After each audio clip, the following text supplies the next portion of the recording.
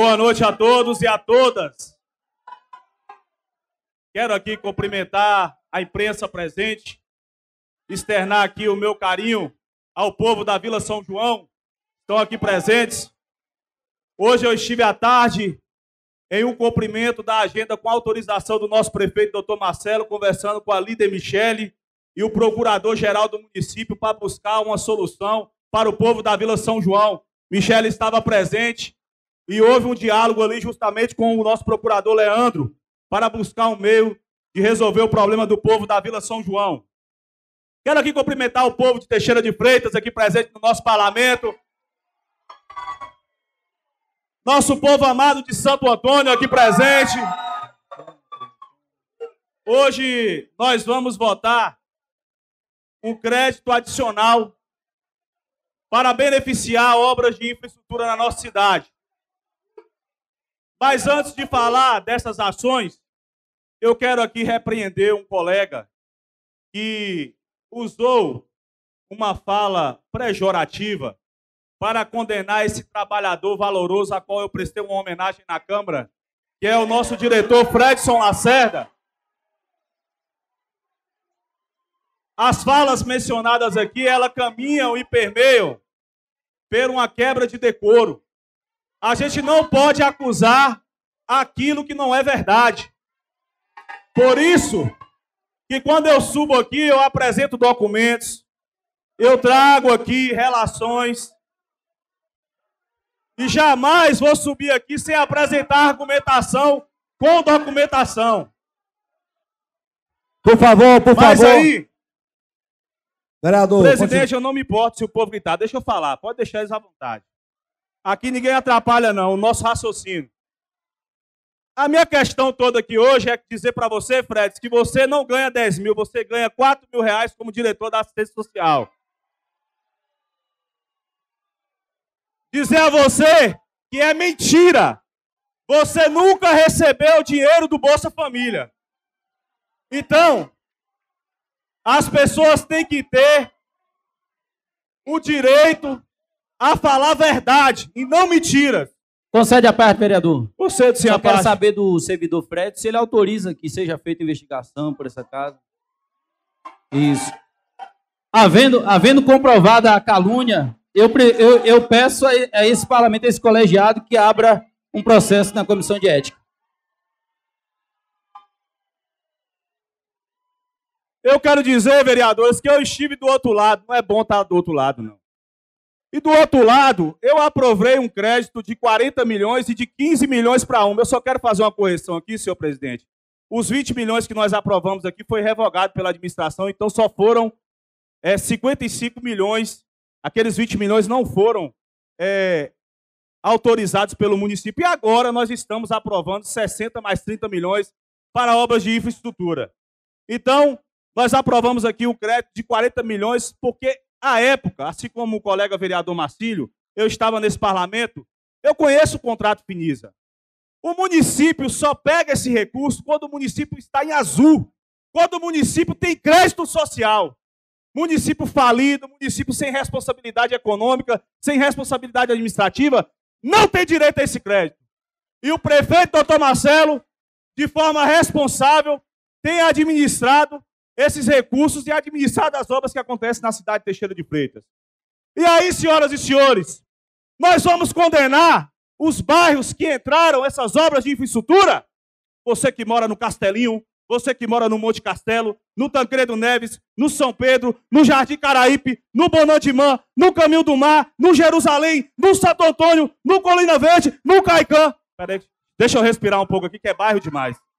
É muita obra, deixa eu dar uma respirada aqui. Vamos lá. Santo Antônio, Colina Verde, Caicã.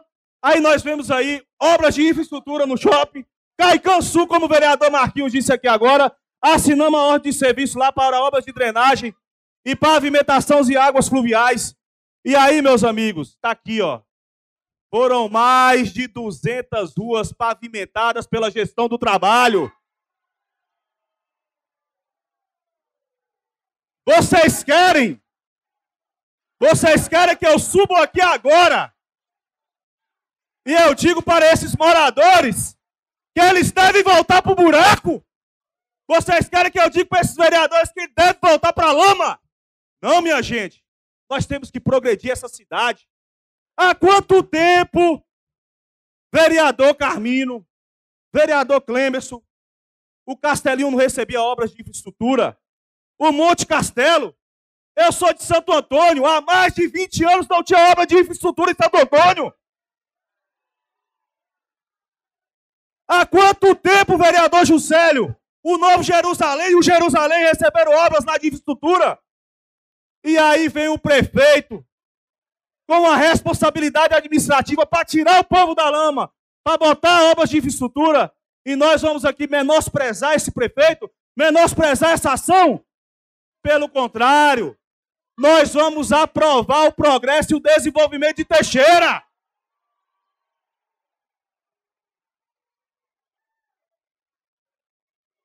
Vá lá na Avenida das Galáxias. Diga para aquele povo que eles devem permanecer na lama. A borra está passando lá. Vamos lá. Diga para os trabalhadores do shopping aqui, os lojistas, amanhã vão lá.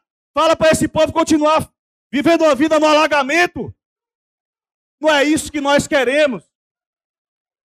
E aí, meu amigo, eu vou ter muito cuidado no que eu vou falar aqui, esse discurso vazio de empresa de Salvador, de empresa de não sei da onde, eu posso provar para o senhor, e na próxima sessão eu vou trazer documentos, que o prefeito Marcelo tem mais responsabilidade com as empresas de Teixeira do que com as empresas de Salvador.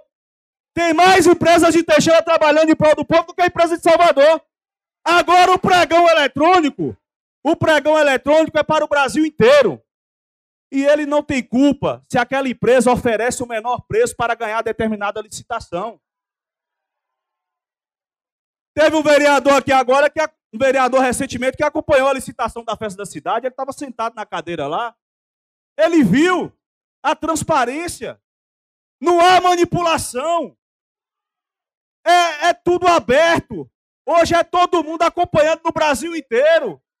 Não há malandragem, não há canalista, o prefeito não permite.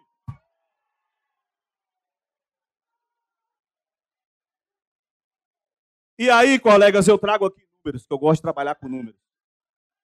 No ano de 2020, nós tivemos uma, uma arrecadação de 420 milhões. No ano de 2022, nós tivemos uma arrecadação de 545 milhões, minha gente. O prefeito, com a sua responsabilidade fiscal, com a sua responsabilidade administrativa, aumentou, desenvolvendo a cidade, fazendo obras de infraestrutura e 100 milhões a arrecadação de Teixeira.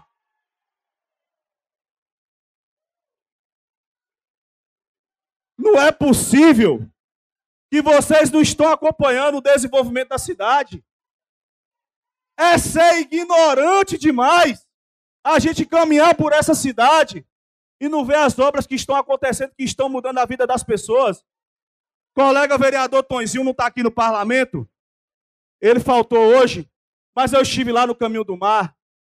Há quanto tempo aquele povo do Caminho do Mar iria esperar obras de infraestrutura? Aquele povo recebia água dentro de casa.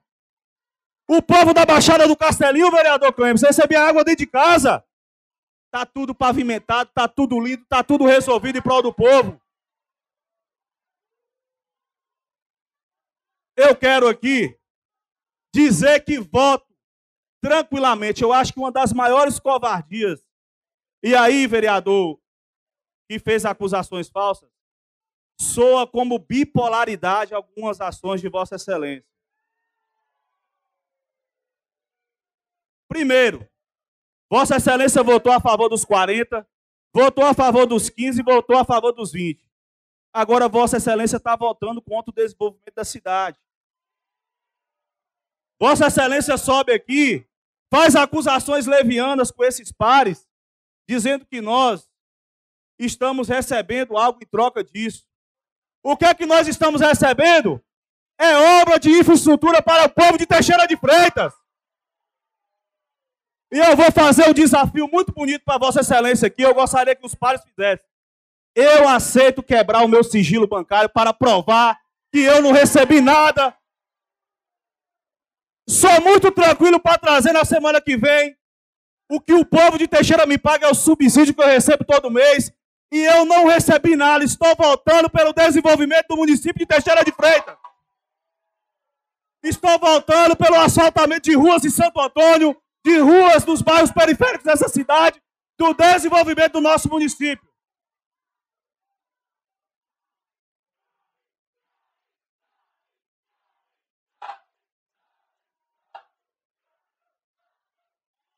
E eu quero aqui,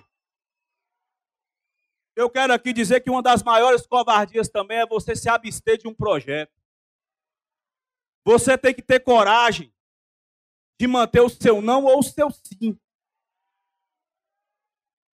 Eu quero aqui de coração dizer a este vereador que ele sabe que eu estou falando para ele. Repense. O colega Bruno chegou aqui por causa de Agnaldo da Saúde.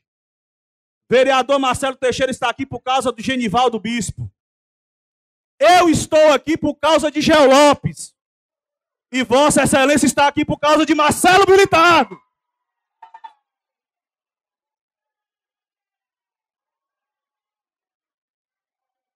Refaça suas rotas. Você tem uma trajetória muito bonita na política de Teixeira. Mas eu não acredito que você vá muito longe sem um apoio do seu valoroso e parceiro doutor Marcelo Militar. E eu quero encerrar o meu discurso aqui dizendo, presidente, que voto sim aos 60 mais 30 milhões pelo desenvolvimento do povo de Teixeira de Freitas, por obras de infraestrutura, para tirar o povo da lama, para tirar o povo do buraco, para tirar o povo da buraqueira, da sujeira. Eu voto sim para tirar o povo da poeira.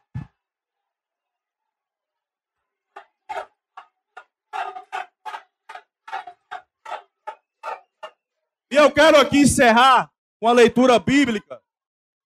Com a leitura bíblica do colega Marquinhos, quando ele disse no início. Quando o colega Marquinhos disse no início: se alguém afirmar, eu amo a Deus, mas odiar seu irmão, ele passa a ser mentiroso. Pois quem ama seu irmão, a quem vê, não pode dizer que ama a Deus que não vê.